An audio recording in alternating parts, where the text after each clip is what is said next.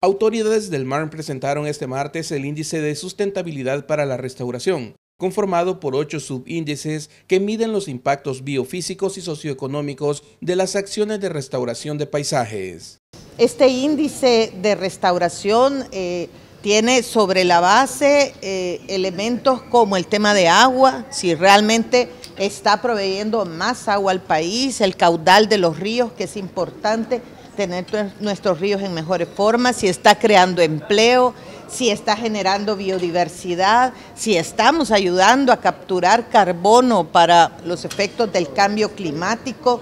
si está reduciendo las vulnerabilidades que existen en el país. La Reserva de Biosfera Apaneca y Lamatepec y la zona de conservación El Imposible Barra de Santiago fue la región piloto para aplicar dicho índice.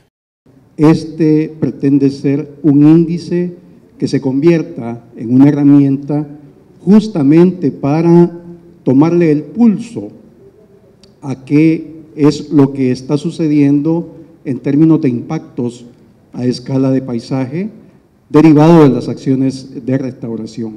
Como Reserva de la Biosfera Panequila Matepec estamos totalmente en la disponibilidad de seguir trabajando y seguir viendo los impactos positivos de este índice índice de sustentabilidad para la restauración. A la presentación de este estudio asistieron diputadas de la Comisión de Medio Ambiente y Cambio Climático de la Asamblea Legislativa, quienes destacaron la importancia de contar con información técnica para la toma de decisiones. El país debe de avanzar en, este, esta metodología de índices y, de estadísticas, porque muchas de las decisiones no se toman en base a números, a cifras, y creo yo que lo, más certero para tomar esas buenas decisiones es en, en base a índices reales. La elaboración de este índice contó con el apoyo del Instituto de Recursos Mundiales, WRI por sus siglas en inglés, la Fundación Prisma y contó con la participación de especialistas del MARN, conjuntamente con especialistas de GIZ,